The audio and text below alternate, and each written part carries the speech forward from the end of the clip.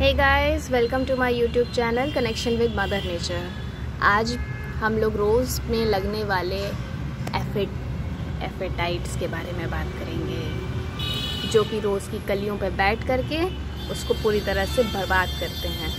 चलिए मिलते हैं इन एफेडाइट से।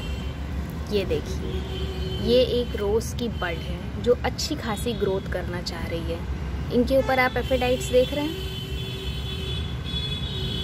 अब आप सोच रहे होंगे कि मैं ये आपको दिखा क्यों रही हूँ, इन्हें हटा क्यों नहीं रही हूँ?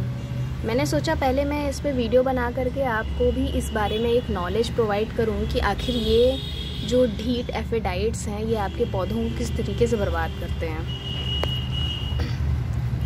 एफेडाइट्स बहुत तरह के होते हैं ब्लैक होते हैं वाइट होते हैं ग्रीन होते हैं और ये वाले जो हैं हमारे पास, ये ग्रीन हैं।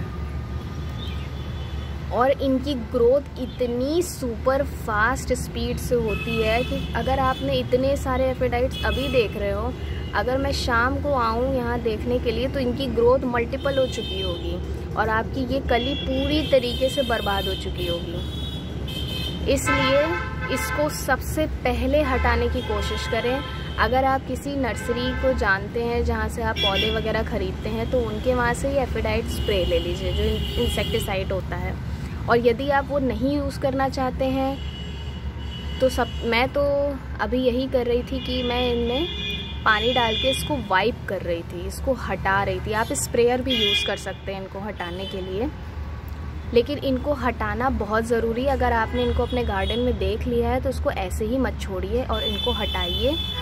नहीं तो ये आपकी कलियों को बर्बाद करेंगे, कली से फिर ये दूसरी स्टेम्स तक जाएँगे, फिर बाकी और अदर प्लांट की स्टेम्स को बर्बाद करेंगे।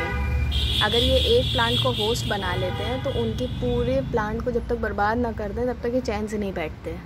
इसलिए इनको ज़रूर हटाइए। चलिए फिर मिलते हैं अगले वीडियो में। तब तक के लिए बाय और मैं जा रही हूँ इन लोगों से लड़ने। Wish me luck bye bye